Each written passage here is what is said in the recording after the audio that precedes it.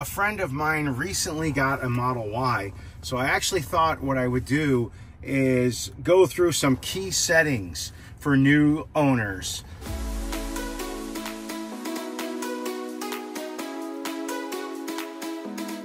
So this is my 2022 Model Y, but the the, the menu should be very similar. Uh, lights, I definitely suggest auto. Um, that way they'll go on. You don't have to worry about it. Windshield wipers, you want to also put that on auto.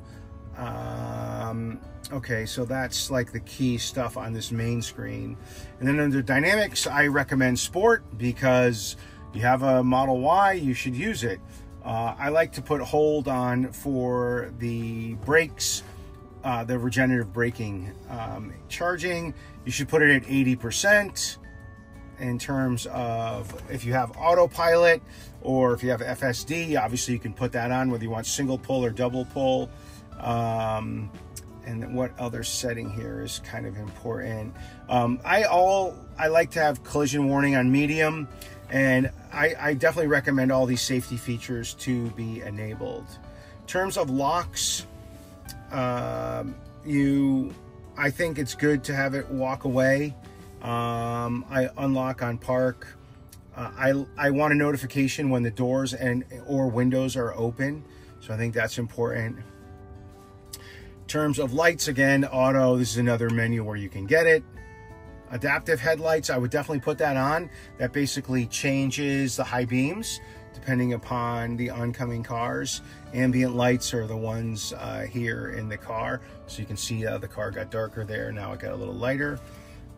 steering wheel lights, seats, basic stuff. Display, I put on auto, it changes from light to dark, depending upon the time of day. And then you have the other settings, not a big deal. Schedule is if you want to charge at a certain time. So for us, between midnight and 3 p.m. is the least expensive. Safety, um, I definitely recommend Sentry mode. There's still crazies out there that are scratching and damaging Teslas, so put that on.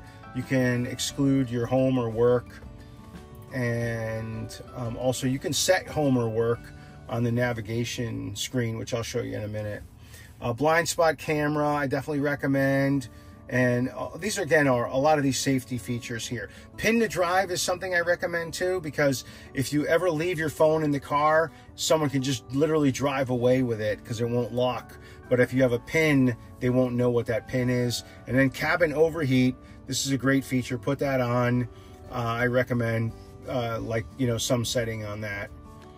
Uh, service just, just tells you the, your PSI and some other information. Software, that's pretty straightforward. And then navigation. So here um, you can set the volume. You can um, add uh, whether you want to see superchargers and uh, trips is just informational.